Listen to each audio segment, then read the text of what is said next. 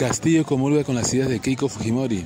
El día de hoy Pedro Castillo ha tenido un encuentro con los dirigentes sindicales y ha llamado ¿no? a la unidad de la clase trabajadora y también ha dicho ¿no? que va a convocar a toda la clase obrera latinoamericana para que se reúna en Perú, para que discutan sobre sus derechos y sus luchas ¿no? por las reivindicaciones de la clase obrera. Todo eso está muy bien. La pregunta es, ¿por qué Pedro Castillo entonces no ha tomado medidas ¿no? a favor de los trabajadores? Por ejemplo, el primer Guido Bellido fue al Congreso ¿no? a pedir el voto de confianza ¿no? y ahí anunció el aumento del salario.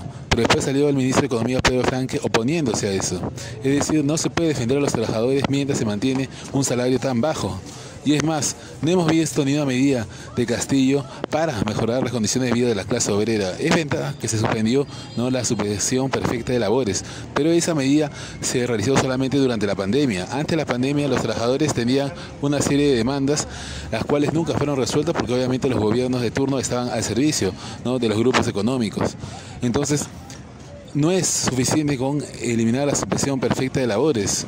Pedro Castillo tiene que tomar más medidas en favor de los trabajadores y no las ha tomado precisamente porque se siente presionado por los grupos económicos, porque no quiere que la derecha lo acuse de ser comunista. Lo peor de todo es que, a pesar que Castillo no ha hecho cambios profundos y radicales, aún así ustedes ven que tanto Keiko Fujimori como sus aliados golpistas e incluso la prensa lo sigue acusando de que dirige un gobierno comunista, de que es terrorista y esa es la razón por la cual ¿no?